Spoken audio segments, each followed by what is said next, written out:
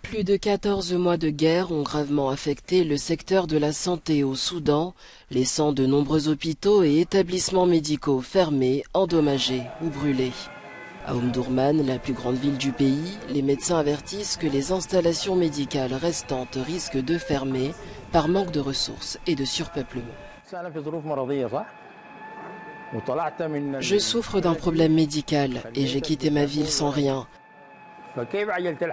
Alors comment ma vie pourra-t-elle continuer?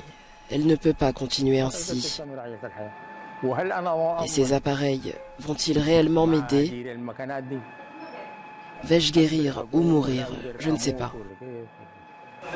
Le docteur Amar Moitassem, qui travaille dans un centre de dialyse dans l'état de Kassala, exprime ses préoccupations quant à l'incapacité de suivre les protocoles de traitement.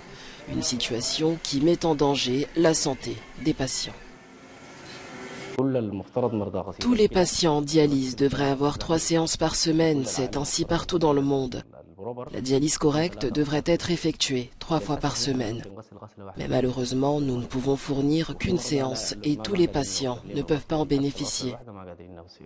L'OMS rapporte que 15 millions de personnes n'ont pas accès aux soins de santé au Soudan et que 70 à 80% des établissements sont défectueux.